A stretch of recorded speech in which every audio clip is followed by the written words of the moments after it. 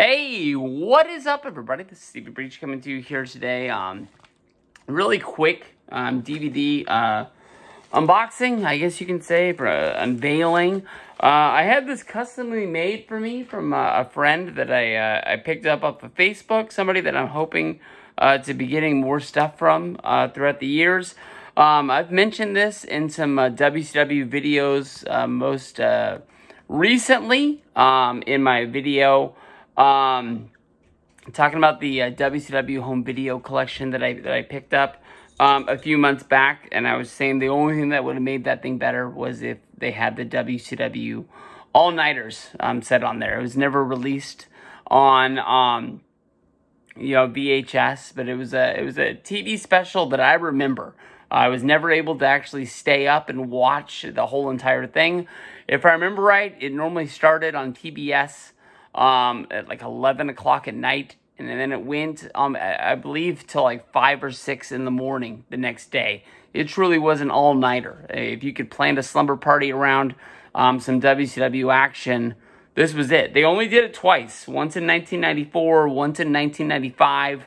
Um, of course, at the time, Turner owned TBS as well as owning uh, WCW. So it's basically the same company. So it's not like they really had to, you know, ask permission, uh, I guess you can say, to make the TV special. But I wish that we got something like this. Uh, back when um, there was WWE 24 7, um, if you can remember those days on your cable box.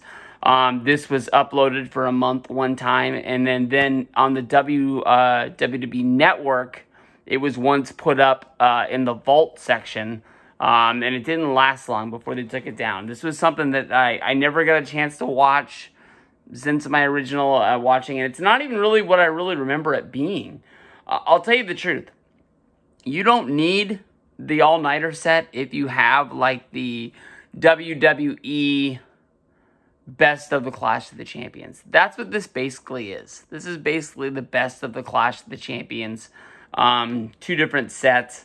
You will get the skits with Tony Schiavone, Bobby the Brain Heenan, uh, Tony Schiavone.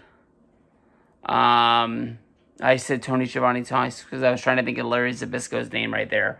But they're pretty funny. Um, you can't find this really up uploaded anywhere online. Nobody's ever put it onto um, YouTube. There are a few of the skits. One where the brain falls asleep and they draw on his face. But um, this is a really, really nice set. You see the cover, whoever um, sets these things up really puts a lot of work uh, into these into these guys. And um, there, there it is right there on one Blu-ray disc. Um, March 6th, 1994, January 21st, 1995.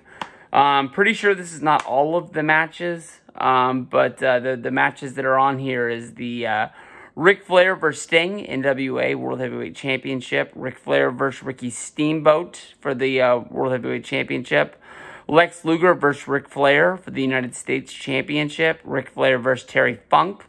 Ric Flair and Sting versus the Great Muta and Terry Funk. Ric Flair and Barry Windham versus the Midnight Express. Uh, we've got Shane Douglas and Ricky Steamboat against the Hollywood Blondes for the NWA and WCW World Tag Team Championships. Um, Steve Austin versus Brian Pillman. The Road Warriors versus the Samoan SWAT team. The Enforcers versus Dustin and Rick, uh, Dustin Rhodes and Ricky Steamboat. And then Cactus Jack versus Van Hammer. Van Hammer on a best of DVD. Who would have ever thought? So, um, I'm really, really happy with this. Um, I think this is a, a, real cool thing to add um, to my collection. Um, and I'm probably looking forward to adding more custom things like this. I, I know you've seen me putting these up over the last year with the uh, Coliseum home videos, WWE uh, home videos, WCW home videos. Um, I got the uh, the um, Dark Side of the Ring set. There was a new generation Monday Night Raw set. So um, I think this is like the place to be right now. Getting the stuff that WWE Network and Peacock really isn't offering that you know's out there. This is be really easy just to like put it up there. um, things that are missing. I mean, you got to be thinking that something's got to be coming up with the new Monday Night Raw um, TV deal. And I think that that's probably going to be tied into the Peacock uh, WWE Network um, deal as well. In my personal opinion, I think it's cool that WWE is on Peacock because I can. I, I already know that I'm gonna have Peacock because of the fact you know they've got The Office and they've got a bunch of other shows on there and some movies. When it comes to like first run movies, like they're the best. They got like Fast X up on there right now. That feels like that was just in theaters not that long ago. Um, but um, you know, I don't understand why is the Hulkamania like all the different sets? Why is that not up there?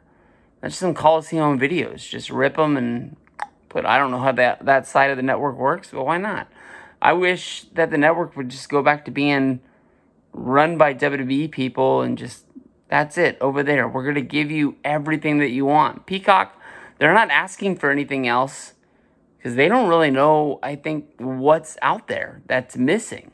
And for wrestling fans that have had the network for 10 years plus, we know what we're missing. We liked it better over there. I mean, it's cool we can watch The Office, but we're probably going to have The Office already uh, with, with Peacock. Um, that's just me. Maybe it's not po- uh, the, the, most popular opinion, but I'm pumped to get it. Um, so right here, easy, easy. But WCW all nighter set. I can talk to you about this all night long.